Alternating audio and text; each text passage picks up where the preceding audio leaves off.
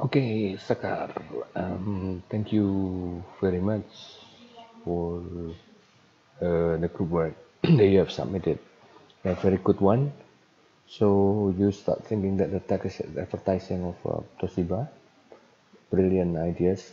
They're going to sell the um, renewable um, renewable technology related to energy. Yeah, so re renewable energy, and also they try to sell in a quotation, meaning uh, they try to promote um, not only the energy but also the consultancy. Yeah, stressing on that. In developing your paragraph, uh, I think it's so far it's okay. You got the point, and we're going to talk more later during this semester about how to develop a good paragraph on that. Yeah, we're going to talk that more. But overall, the group work is good, and you got the point. Thank you.